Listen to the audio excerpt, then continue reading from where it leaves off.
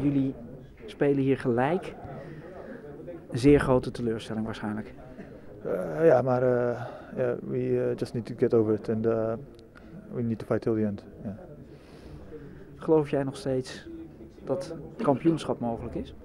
Ja, we came this far and uh, we still don't know what's going to happen this year, in these last four games. So uh, hopefully it turns out well for us. Niet opgeven dus en gewoon doorgaan. Vanavond leek jij de man of the match te worden met twee goals.